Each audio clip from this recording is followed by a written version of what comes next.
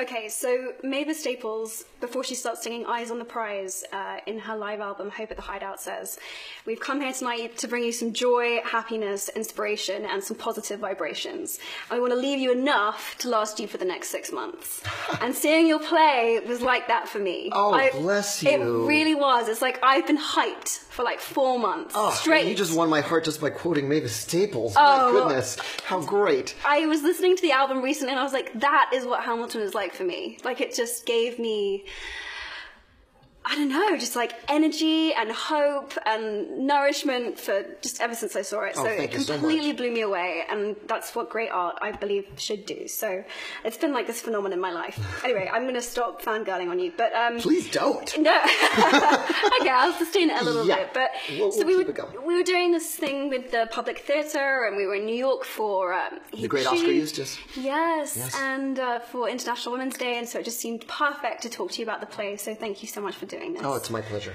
Uh, so for those of us that aren't lucky enough to be in New York here to see the play, and it's almost impossible to get a ticket at the moment, could you give us like a 30 seconds, like highlight reel synopsis? Yeah, sure. Um, Hamilton is the story of our first, our nation's first Treasury Secretary, and it's as sexy as it sounds. I'm past patiently waiting, I'm passionately smashing every expectation, every action's an act of creation. I'm laughing in the face of casualties time, I'm thinking past tomorrow. It's about Alexander Hamilton. He's the dude on the $10 bill um, who had an amazing, tumultuous, unlikely American life. And I knew nothing about him until I picked up Ron Chernow's uh, biography of him one day on vacation and uh, just felt like it was the proto American immigrant story. Before there was an America, this guy sort of came here for a better life and managed to make one. Um, it's also, uh, uh, um, in a weird way, a love letter to writers. This is a Yes. this is a guy who wrote his way out of his circumstances,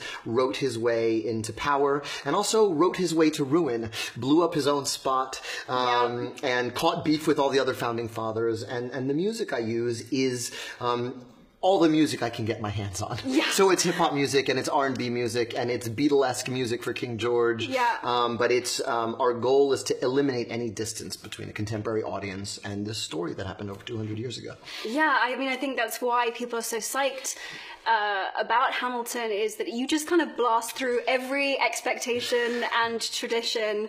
You know, you use music that would be seemingly incongruous with the time, but that is so perfect as a way to express these ideas Yeah. and like And structurally, I steal a little bit from Harry Potter, I have to tell you. what? Because um, No. the opening scene, Hamilton meets Aaron Burr, uh, and he says, "Aaron Burr, like, help me, like, I want to be in this world." Uh, and Burr gives him the opposite advice of who he is, and then he meets his real friends, uh, Yes. Mulligan, Lafayette, and uh, yeah, and uh, Right. and Laurens, and it's exactly. It's exactly, Harry Potter meeting Malfoy Yeah. first, and then seeing his real friends on the train, being I like, com- "I like these guys better." I completely forgot that because in the first book, Draco tries to be like, you know, I can help you. I can help you. like just tries to consort befriend with the him, right people. and and Harry has this instinctual like this guy is clearly an asshole, and Yeah. I have to. Yeah, everything I learned, I learned from those him. books. yes, this is great. Harry Potter's everywhere. It's the ultimate universal story. Um, okay, good. So yeah, so you wrote this play.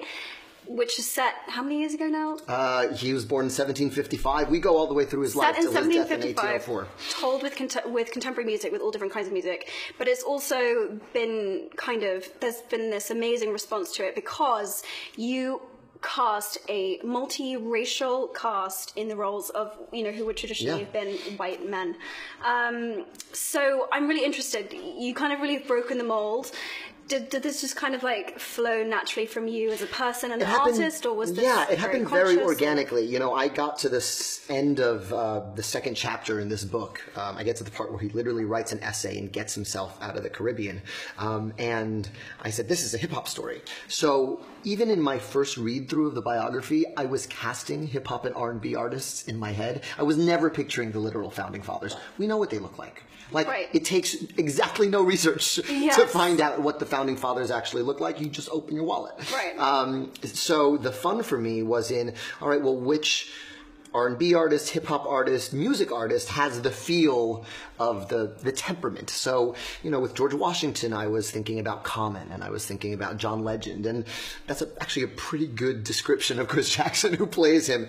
Um, with uh, when I read the name Hercules Mulligan, I thought that's the most Busta Rhymesian sounding Such rapper gangster name. It is Like, such a great name. so good. So I, you know, I wrote it as if Busta Rhymes was in my head. And so Tommy Kail just sort of took that and extended it and really said, you know, this, this conceit just allows us to eliminate the distance even more. Because if it doesn't look like a John Trumbull painting Mm. um, from the 1700s, then we can identify, we can find our way into it Yeah. in a way that makes it much more accessible than if it was just sort of a, you know, a period piece. Totally. Well, again, that was what was so cool is that, you know, set hundreds and hundreds of years ago, but I kept seeing our times, topical issues that I was seeing in the news, Right. just so reflected in what I was seeing Yeah, on stage. and that's what I fell in love with when I was writing it too. I was like, oh, we've been fighting about the same things Forever. forever. It's no accident that we're still fighting about how much is the government involved in our lives, Yes. which is what Jefferson and Hamilton rap battle about in my show. Yeah. It's no accident we still fight about how involved do we get in the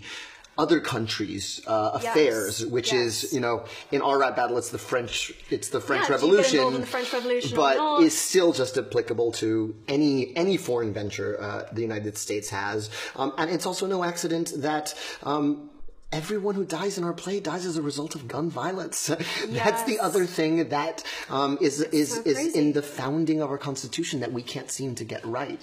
Yeah. Um, but is you know plagues even our show, much less our country. Yeah, and also who's an American? Who gets to live here? Who's Yeah. a true American? What does that What does that mean? Absolutely. Um, all of that stuff. I was so I was like, wow, this has everything. Yeah. Um, yeah, Jefferson was using immigrant as a way of denigrating Hamilton way before Trump ever entered ever the scene. came anywhere near any of this stuff. Yeah. Yeah. it was. It's so great. It's difficult for me, obviously, not to look at it through the lens of he for she and the work that I'm doing, and you know, Angelica and Lila, uh, sorry, Angelica and Eliza and the, the sisters are, you know, clearly amazing for that. I'm trying to find. Oh yeah, so she says. Uh, Angelica raps, You want a revolution, I want a revelation. So listen to my declaration. We hold these truths to be self evident that all men are created equal. And when I meet Thomas Jefferson, I Uh. compel him to include women in the sequel. Work. It's so good. I love it so I much. I just pictured a million teenagers making gifs of that moment. me rapping? Yeah. Yes. Oh god. the best. I am so not a rapper, but it makes me want to learn to do it because she's so badass and it's She such an amazing way She to is. And she was. express ideas. Yeah, and you know, I think um, one of the sort of the things that, that Ron writes about in his book that I sort of uh, expand in the show is this notion that if Angelica Schuyler lived in a different time, she'd be one of our founders. Totally. Um, and you know, she meets everyone who met Hamilton and Angelica together thought, well, they're the married couple, right? Because Yeah. they were so Well, soulmates. They were they were intellectual soulmates. Soulmates, yeah. And the letters they write back and forth. I mean, he, you know, she's desperate for news. She's in London, Yeah. and she, she she married a rich British banker, moved to London, and her her letters. She writes. She actually also corresponded with Jefferson. Um, Really? Yeah, and it's actually pretty amazing because Jefferson's trying to flirt with her, and she's not Having having it. it. He's like, you know, we should. He's in Paris while she's in London, and he's writing her this letter to the effect, if I'm paraphrasing. He's like, yeah, we should go to America together. We could like take the boat over together. And And and like- Angelica goes, oh yeah, that sounds really nice. Except there's uh, uh I, my, my loyalties lie elsewhere, basically. like she, yeah, Oh she's God, like I've been doing- hashtag Team Hamilton. Hashtag I'm on somebody else's Yeah. team. Uh, So she did meet Jefferson. that's so funny. Yeah. Oh, she's so she's so cool. Um, so I'm interested though because you've like you've included these really really political things in your play and i'm interested do you think that storytellers have a responsibility to drive us forward as a society to encourage us to perceive things in new ways? And if you do does this ever weigh like heavily on you? Do you ever feel like do you ever feel like that's a responsibility? No, I'll tell you the way I think of it. I think storytellers can't help it. Your worldview affects what you see in the work, and it affects what you make. Right. Um, anything that's political in Hamilton's story is inherent in Hamilton's story, at least the way I I know it. how to tell it. Yeah. Um, and so I think the th- you know the the notion of Hamilton as an immigrant story, i i maybe another writer would not have seized on that as the through line. That Yeah. was definitely my way in. Yeah. Um, uh, you know, having um, parents who were not immigrants, they were born in Puerto Rico. They came to New York. Um, you know, m- my dad didn't speak a word uh, uh, of English when he came here, and he came here to, to get a better life. So I, I'm familiar with that story, that Right. immigrant narrative of like, we're going to come here and we're going to do the jobs no one else wants to do, and we're going to work twice as hard. Right. Um, and I recognize that in Hamilton. Right. Um, so that's what comes out when I write him. Someone else may have a totally different version, but I really try not to think of writing as a burden at all. My job's to fall in love because it's got to sustain me. This show took six, seven years to write. It's got to sustain me Yeah. for six, seven years. And so, um, you know, the, the, the politics inherent to the show are just what come out of me when I write about this thing. And, um, and it's also, but it's, it's really about being inspired and being in love. Like there are a million biopic, Right. bio-musical worthy subjects, but Yeah. if I don't know the way to tell it, I can't tell it. So Yeah. if it starts to feel like a responsibility and it feels like homework, I mean, I know you love homework. I love homework. I don't I love homework. homework. I need it to feel like a love affair. It Yeah. can't feel like homework to me. No. Um, but that's sort of how I approach it.